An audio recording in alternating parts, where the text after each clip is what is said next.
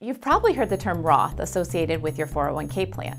Most plans now offer two types of participant contributions.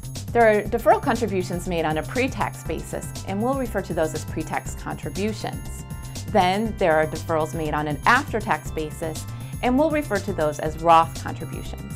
Many people aren't sure whether they should contribute to their plan on a before-tax or Roth basis.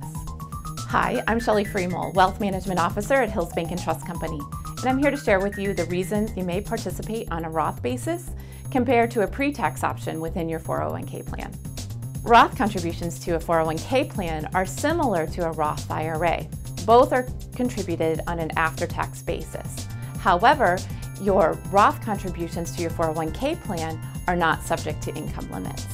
First, let's start by defining Roth. Participating on a Roth basis in your 401k plan means taxes are taken upfront before the contribution is invested.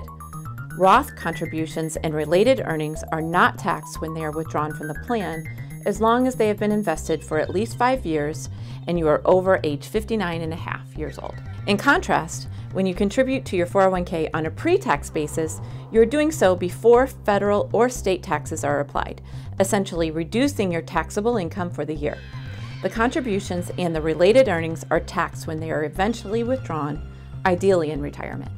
Now that you have an understanding of the basic differences between Roth and pre-tax contributions, you should ask yourself just one question. When do you think you'll be in a higher tax bracket? Now or during your retirement? In part two of this series, we'll offer some things to consider when making this choice, since it can be difficult to predict what your tax obligations will be in the future. If you have any questions about the benefits of participating in your plan on either a pre-tax or a Roth basis, please feel free to leave them in the comments below or reach out to one of our retirement plan services officers.